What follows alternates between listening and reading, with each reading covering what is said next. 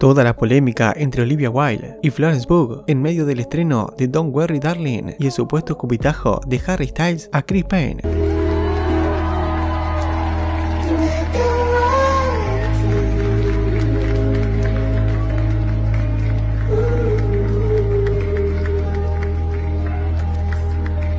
En los últimos días las sospechas que sostienen que hay diferencias entre la protagonista de la mencionada película y su directora aumentaron cada vez más especulando con que hubo una serie de incidentes durante el rodaje de la filmación. Sumado a esto recientemente se volvió viral un video en donde se lo puede observar a Harry Styles ingresando a la sala donde se proyectaba el largometraje en el marco del Festival de Venecia y de manera imprevista presuntamente escupió a su compañero. Si bien las imágenes generaron opiniones encontradas entre los usuarios de las redes sociales, con quienes argumentaban que no lo había hecho y quienes sostenían que la grabación quedaba evidenciado que sí lo había escupido. Lo cierto es que la reacción de Payne provocó más polémica, dado que se lo ve que queda sorprendido durante un tiempo y luego ríe mirando hacia abajo. Por su parte, el cantante había evitado el contacto visual con quien es el coprotagonista del largometraje, saludando a otros miembros de la audiencia detrás de él. Sin embargo, algunos fanáticos deslizaron la posibilidad de que en verdad el actor haya tenido esa actitud, simplemente porque quizás no sabía dónde había dejado sus lentes y al descubrir que los tenía entre sus piernas, tuvo esa reacción. Además, en otro video que se divulgó recientemente, se puede observar cómo unos segundos después ambos hablan normalmente.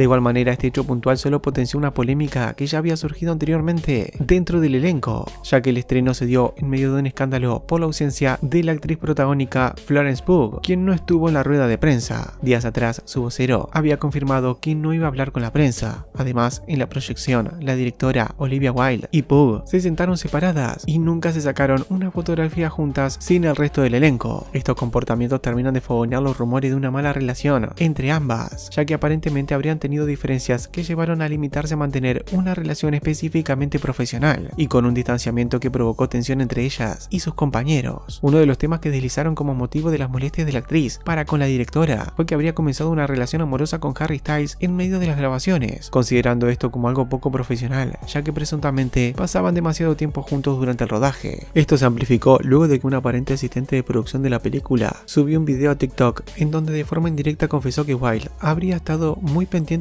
Harry Styles, al punto tal de que Pugh terminó dirigiendo varias escenas, llegando a tener fuertes discusiones entre las dos. Además, sobre el final de las grabaciones, Wilde habría hecho firmar a todos los integrantes un acuerdo de confidencialidad que provocó más tensión y habría tomado una actitud hostil en medio de su romance con el cantante. Aproximadamente en septiembre del 2020 se supo que estaban manteniendo un noviazgo, aunque públicamente se los vio juntos por primera vez en una boda en enero del 2021, confirmando de esta manera que su amistad se había convertido en algo más. Esto generó suspicacias, dado que la directora habría esperado un tiempo prudencial para anunciar su nuevo amorío, tras separarse del actor Jason Sudeikis, con quien tiene dos hijos en común. Por otro lado, las diferencias quedaron evidenciadas en la indiferencia de la propia Pug para con Wilde, ya que jamás la mencionó en sus redes sociales ni compartió publicaciones de la película que hizo la directora. Asimismo, otro de los detonantes, por lo menos que se conocieron mediáticamente, fue que Wilde había hecho declaraciones ante la prensa que no fueron bien recibidas por Pug, al hablar de las escenas de sexo que aparecen en la película y puntualizar en su búsqueda de mostrar lo que es el deseo sexual y el placer femenino, hablando concretamente de un fragmento en donde Harry Styles le practica sexo oral a Florence. Esto provocó que Pug contestara de forma indirecta en otra entrevista, en la que precisamente sostuvo lo siguiente: Cuando se reduce a tus escenas de sexo o para ver al hombre más famoso del mundo caer sobre alguien, no es por eso que lo hacemos, no es por eso que estoy en esta industria. Obviamente la naturaleza de contratar a la estrella del pop más famosa del mundo, vas a tener conversaciones como esa. Eso no es lo que voy a discutir porque esta película es más grande y mejor que eso, y las personas que lo hicieron son más grandes y mejores que eso. En ese sentido, Olivia redobló la apuesta al volver a efectuar otra nota en donde volvió a hablar de las escenas de sexo, aseverando que en su film solo las mujeres llegaban al orgasmo y que los hombres no, dejando de manifiesto un posicionamiento sobre el tema. Igualmente todo este hincapié mediático sobre la sexualidad dentro de la película se barajó que esté relacionado con una intención de promocionar más el largometraje y generar atención para que la gente vaya a ver a los cines. En tanto que también, dentro de esa misma nota que dio un prestigioso medio estadounidense, la directora prosiguió la polémica luego de sostener que había despedido a Shia LaBeouf de la película para cuidar a Florence. Lo cierto es que el actor que anteriormente estuvo envuelto en varias situaciones escandalosas vinculado a hechos de violencia iba a ser el protagonista de la película, pero finalmente fue reemplazado por el ex One Direction. Esto ocasionó la rápida reacción del actor, que decidió contactar al medio en cuestión y afirmar que no lo habían echado, sino que él renunció porque no contaba con los tiempos necesarios para ensayar con sus compañeros, agregando pruebas de que Wilde lo quiso convencer de que cambie su decisión.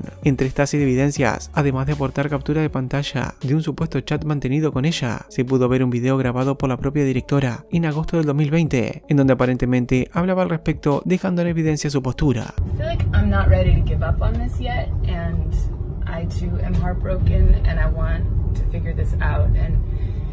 You know, I think this might be a bit of a wake up call for Miss Flo. And I want to know if you're open to giving this a shot with me, with us. If she really commits, if she really puts her, her mind and heart into it at this.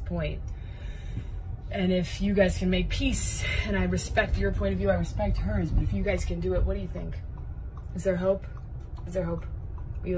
En concreto, la película sigue generando más repercusión por las polémicas entre sus integrantes que por lo que significó su recepción artística, considerando que luego de su estreno en el Festival de Venecia solo consiguió 4 minutos de aplausos, que son considerados poco tiempo en relación a otros lanzamientos, además de que la crítica especializada no dio buenas opiniones al respecto. En ese sentido, la única que fue valorada con cierto elogio fue la propia Pug, quien se destacó por su interpretación siendo la más sobresaliente de una película catalogada como superficial, aunque en quien tenga la última palabra será el público.